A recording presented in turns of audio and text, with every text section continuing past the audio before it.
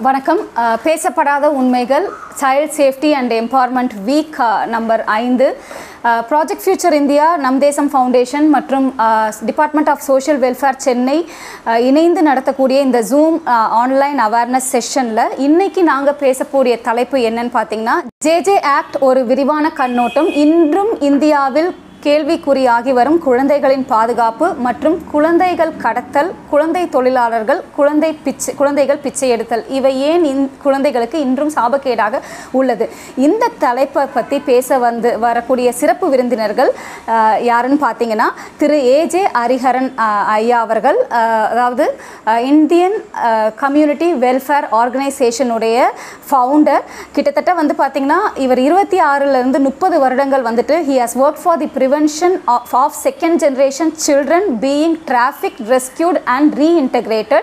Uh, மற்றும் நம்மோடு கலந்து கொள்ள இருக்கும் அடுத்த சிறப்பு விருந்தினர் அஹ், யாருன்னு பார்த்தீங்கன்னா இந்தியாவிலிருந்து அமைதிக்காக நோபல் பரிசு பெற்ற திரு கைலாஷ் சத்யார்த்தி அவர்கள் நிறுவிய சேவ் த சைல்டு மூ மூமெண்ட் பச்பன் பச்சாவோ அந்தோலன் அமைப்பு அமைப்பின் தமிழ்நாடு ஸ்டேட் கோஆர்டினேட்டரான நாதர்ஷா மலிம் அவர்கள்.